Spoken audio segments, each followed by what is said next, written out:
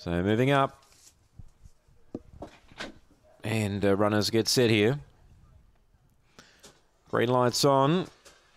Set to run. They're ready now. And racing, Blue Zoo a bit slow. Good speed, Sully's Girl, but it's getting tight and getting over Sabonto Less and booting up now Temerity Spirit to go with Sabonto Less, and they get clear. Sully's Girl back to third. My Regal Lady fourth. Blue Zoo in bother.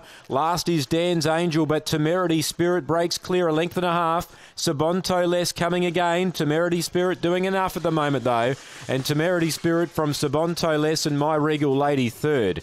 Fourth placing Blue Zoo. Then Sully's Girl, who had a bit of early speed but got tired. And Dan's Angel last in. Seven the winner. Temerity Spirit. Yvonne Maxwell. Number seven.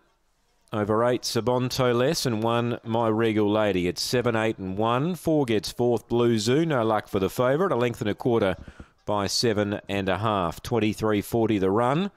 Seven the winner. Yvonne Maxwell. Seven, eight, one, four. 23.40 the time. A new PB to the winner. Standing by for the all clear.